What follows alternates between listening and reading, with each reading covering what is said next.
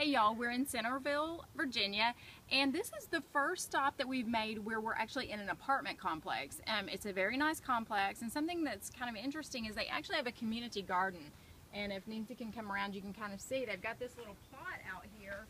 Um, and I'm not sure exactly how it works, but they've got all kinds of things growing. So it's very cool, unlike anything when I ever lived in an apartment complex.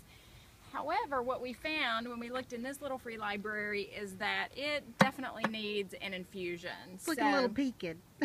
It, it, does. It does have some uh, a seed exchange as well, though, so that's pretty cool. That is cool. Um, so today we are going to drop off one of Nancy's books, Mint, Juleps, and Justice. If you haven't read that, you might want to get your mitts on it.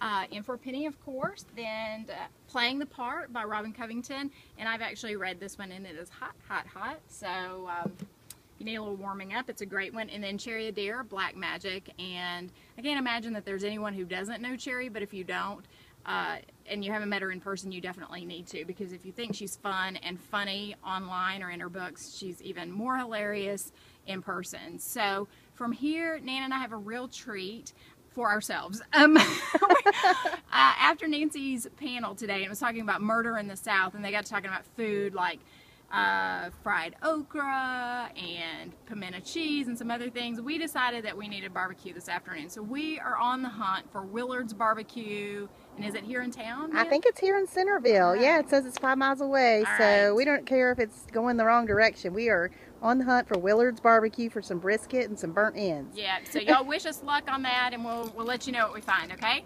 Later, y'all. See ya.